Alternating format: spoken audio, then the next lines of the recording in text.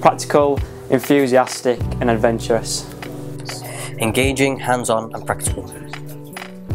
Um, fun, engaging and dynamic.